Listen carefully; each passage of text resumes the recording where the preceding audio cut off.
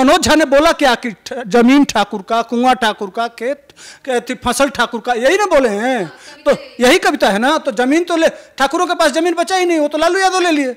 नौकरी के बदले ज़मीन में। कैसे महिला आरक्षण बिल पे बहस हो रही थी तो उन्होंने ठाकुर की कविता क्यों पढ़ी सवाल? असली मुद्दे से दिमाग हटका बिहार की जो सब रोज जो पुल गिरा वह जो ये लड़ थी पटना में जो काम कांड हुआ छो बच्ची के साथ वह ये जो तमाम मुद्दे बन रहे, उसके बाद से मनीष कश्यप पाँच पुलिस वाले को सस्पेंड कर देना। यह सारे जो जिनविन मुद्दे हैं, यह जो उठ रहे थे, उसको दबाने के लिए लालू यादव बुलाते हैं और रात को कान फूंक देते हैं कि अब इसमें जाति का जहर बो।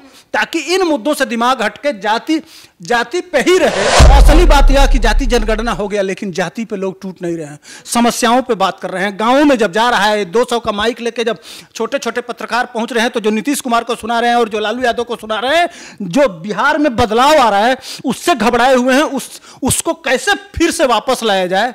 इसीलिए यह इन लोगों को लगाया गया है। यह कभी बिहार की मूल समस्या के लिए कभी खड़ा नहीं होते हैं। हमेशा खड़ा होंगे लालू पर जाति के नाम पे ताकि लड़ाते रहो और लालू यादव इनको हड्डी फेंकते रहे और यह यह उसको चाटते रहे। इसके अलावा इनकी कोई पहचान नहीं। बात को लग रहा है कोई इतना सीरियस लेगा मनोज झा को लेके। लोग कहते हैं वो प्रोफेसर है उनके पास बहुत नॉलेज है वो जो भी बोलते हैं सोच समझ। सिर्फ़ जहर बांटता है बताइए दिल्ली में कभी को, कोई मजदूर पिट गया हो कभी मनोज झा को देखिए? हरियाणा में जो अभी अभी अभी अभी एक ठेकेदार ने मजदूरों के साथ मजदूरों का पैसा नहीं दिया कभी मनोज झा को खड़ा होते हुए देखा है? तमिलनाडु की घटना हुई थी कभी मनोज झा खड़ा हुआ था? ये बैल हैं और हल किसका? लालू यादव का। खेत किसका? लालू यादव का। और बोया क्या जा रहा है? जाति का जहर। और जाति का जहर बो के और फिर 2024 का फ़सल काटा जाएगा और बिहार के गरीबों के बच्चे धक्का खाएँगे। उसी जहर को परोस दिया जाएगा, फ़सल काट लिया जाएगा और फिर आपका बच्चा तमिलनाडु जाएगा और लात खाएगा। और महाराष्ट्र जाएगा और लात खाएगा दिल्ली आएगा और लात खाएगा और फिर बिहारी शब्द इसी इसी तरह से गाली होगा उनकी दुकान बंद करने की ज़रूरत है। इसलिए कि हमको चाहिए बिहार एक नंबर। दुनिया भारत में गौरवशाली इतिहास रहा है। बिहार से पूरा दुनिया चला है पूरा देश चला है मगध से। हमको ऐसा नेता चाहिए और वो जो जो नेत, नेता में यह गुण दिखाई देता हो उसी के साथ खड़ा होइए। देखिए राज्यसभा में सांसद मनोज झा के बयान पर बिहार में राजनीतिक बवाल देखने को मिल रहा है। लोग आरोप प्रत्यारोप लगा रहे हैं और मनोज झा का कुछ लोग समर्थन कर रहे हैं तो कुछ लोग विरोध में उतर गए हैं। इस वक्त हमारे साथ सुधीर पांडे जी मौजूद हैं इसी पर खुलकर इनसे बात करेंगे। क्या बोलेंगे मनोज झा के बयान पर?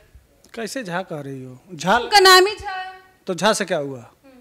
झा थोड़ा है। कभी उसको को, कोई जनेऊ पहनते हुए देखा है? मैं जनेऊ पहने हूँ। कभी कोई दिखा दे? शर्त लगाता हूँ।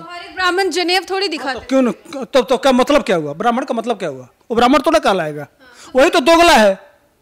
दोगला हाँ दोगला कह रहे हैं अब्दुल चाचा उसके घर आते जाते थे। पल पक्का कह रहा हूँ डीएनए करा लो एकदम पक्का। आप मतलब किस शर्त पे बोल रहे हैं कि जो सांसद संस्कृति को नहीं मानता हो जो अपने सनातन को नहीं मानता हो अपने अपने संस्कृति और सनातन के विरोध में जो 24 घंटे खड़ा रहता हो उसको ब्राह्मण कैसे कह सकते हैं? उन्होंने तो ठाकुर के विरोध में बोला ना ब्राह्मण पे तो बोला ही नहीं है। ठाकुर बाबू अच्छा ठाकुर उनको मिल गया बोलने के लिए। और चंद्रशेखर यादव जब श्री रामचरितमानस पे बोल रहे थे तब क्या हुआ? स्टेलिन जब बोल रहा था स्टेलिन जब बोला कि सनातन धर्म को खत्म कर देना चाहिए तब क्या बोले थे? कि यह तो मुहावरा है। अरे मैंने अब यही मुहावरा है जो दिल्ली यूनिवर्सिटी का है और लालू यादव कह रहे हैं बहुत पढ़ा लिखा है तो ऐसे पढ़ा लिखा लिखा लोग मेरे जूते के बराबर। आप मनोज झा को अपने जूते के नीचे बिल्कुल।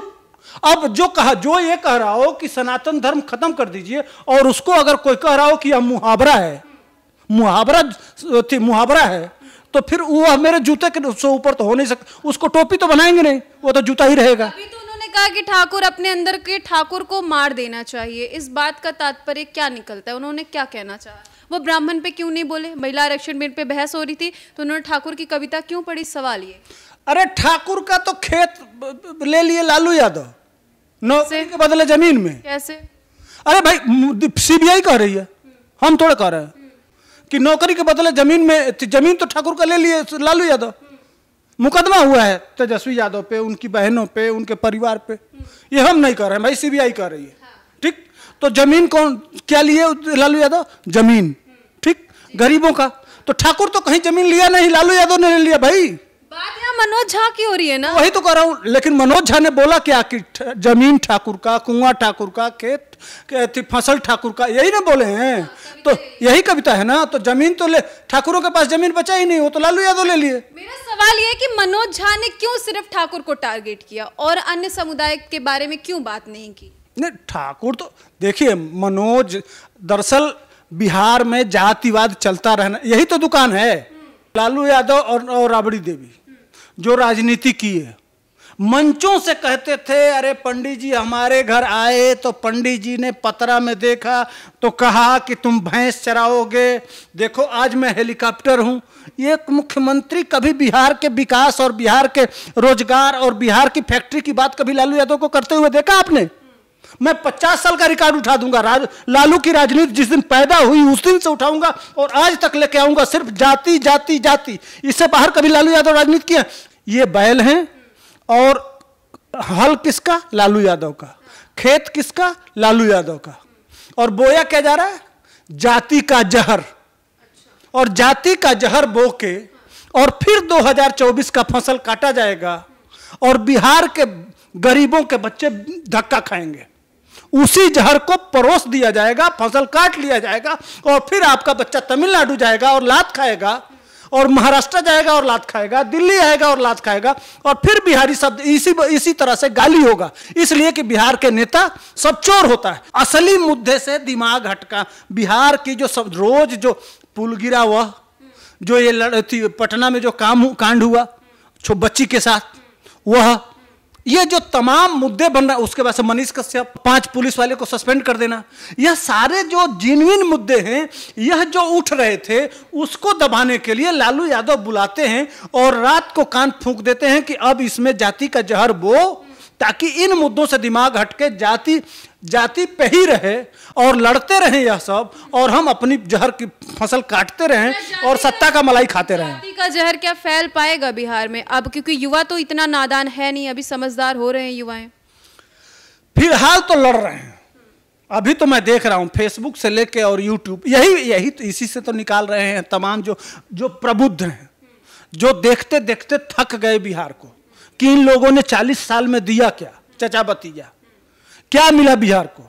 अगर आज भी सबसे पिछड़ा राज्य के रूप में स्थापित है बिहार तो यह यह दोष किसके माथे पे लगा है? जनता ये समझना चाहती है कि आरजेडी के कुछ लोग मनोज झा को सपोर्ट कर रहे हैं कुछ लोग विरोध कर रहे हैं तो फिर इस सब विरोध कहाँ कर रहा है? कौन कुछ लोग कर तो रहे हैं। कौन आनंद मोहन बोले ना। तो वो आनंद मोहन का वो तो पॉलिटिकल स्टंट है। वह पहले ठाकुरों को एक जगह इकट्ठा करेंगे। और लास्ट में ले जाके आरजेडी के साथ चिपका देंगे। मनोज झा पंडितों को इकट्ठा करेंगे और लास्ट में ले जाके चिपका देंगे। और यह है जो हड्डी फेंका जाता है ना फिर लालू यादव हड्डी फेंक देंगे। और फिर जैसे मान लीजिए कि घर पे जब भोजो वोजो होता है ना तो नहीं पतलवा फेंक दिया जाता है। तो शाम को कुतवा सब नहीं लड़ता है। तो कुछ फेंक देगा। जैसे मान लो विधायक की टिकट एमपी का टिकट अच्छा एमएलसी का टिकट। आप किसको ये सब बोल रहे हैं आपको पता है? हाँ सबकी पोस्ट पता है। हाँ सब पोस्ट पता है। तो आप मनोज झा को बिल्कुल सत्य वही वो पत्तल लालू यादव का पत्तल है जूठन फेंक दिया जाता है वो चाटता है।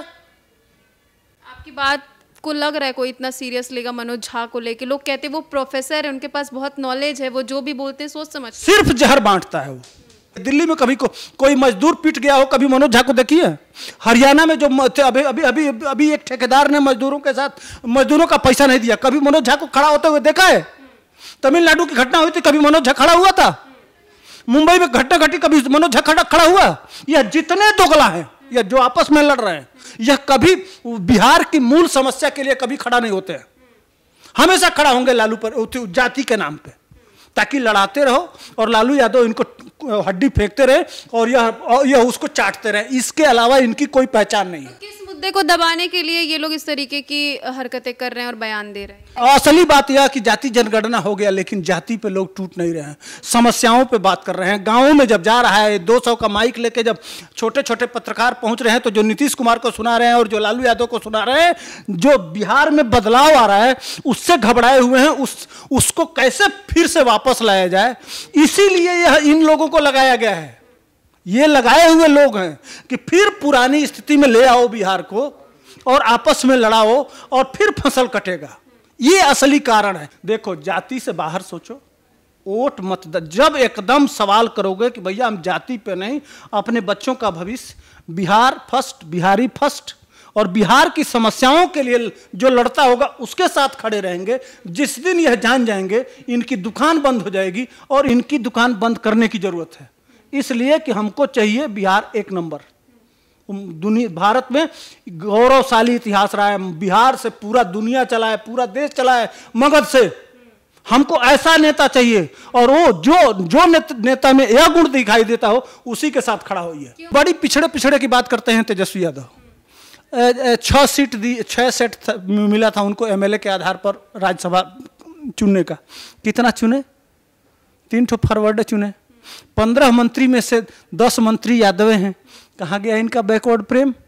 तो ये समझो, ये मूर्ख बना के और अपना रोटी सेकना है इनको। इनके इनके, चले जाओ उसमें, संगठन में, उसमें भी केवल यादव। अरे भाई, पंद्रह मंत्री में दो तो इनको बैठे हुए हैं, तेजस्वी और तेज प्रताप। और एक चंद्रशेखरे हैं, गिन लो, दस के दस उसी वही है। तुम कहाँ गए? तुमको सिर्फ़ चट्टी बिछाना और पीछे पीछे जिंदाबाद लगाना, इसीलिए हो आप। सोचो, यही करवाएँगे और यही करवाना चाहते हैं इनके माध्यम से। मनोज झा जैसे लोगों को ले जाएँगे और जहर बुआएँगे और आपका बच्चा धक्का खाएगा।